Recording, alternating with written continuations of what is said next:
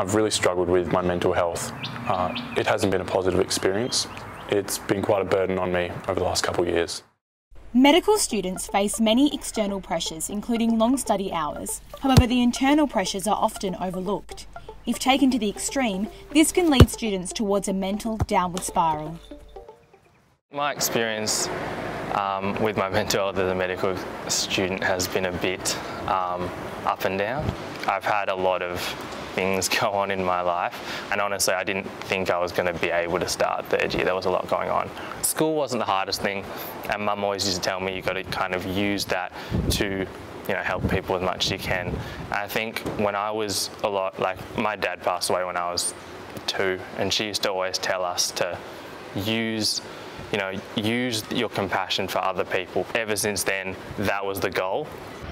In 2018, levels of very high psychological distress were significantly higher in medical students, at 9% relative to the 3% in the general population. In 2019, approximately 1 in 5 medical students had thoughts of suicide in the previous 12 months.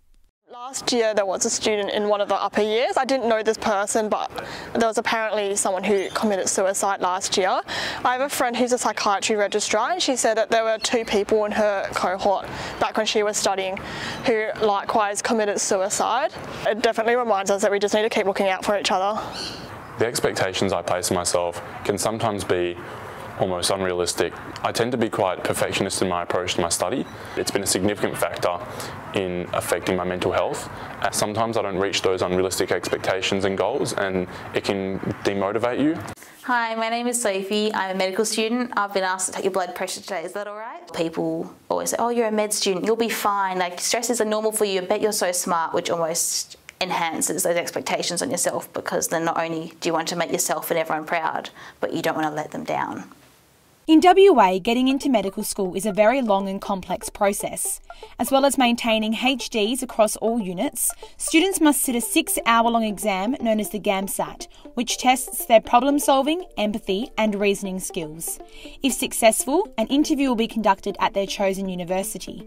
The student must perform very highly in all three areas to be made an offer. An exception to this is Curtin University, which only allows students to enter medicine straight after high school. I believe the complex process of getting into medical school uh, can be quite daunting and actually quite complicated. Uh, I'm currently going through it right now and it definitely takes time away from your studies. It's long, the GAMSAT's six hours, and more often than not people repeat that two or three times. Some of the exams cost $500 to $700 to sit each time. Um, and you've also got to take into consideration uh, study materials as well. COVID 19 has shaken the foundations of our future medical workforce. Without important hands on experience, the pressure placed on students has increased. I found that with COVID 19 this year, whether it's to do with studies, but generally stress has been higher, we missed a lot of physical classes, which although impacts all university courses, was a, had a big impact on our medical training because we couldn't learn how to examine patients. We couldn't learn how to sit and actually feel if a bone is broken. And so we're now expected to go on in our studies with assumed knowledge, but we've never actually practiced it.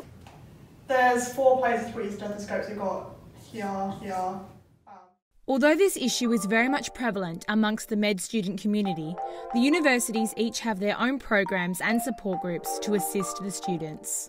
The mental health first aid program is targeted towards basically members of the general public and I think anyone can benefit from a course. You, you might come across you know, friends who have depression, friends who have anxiety, friends who might be experiencing psychosis for the first time and I think it's important for anyone to do.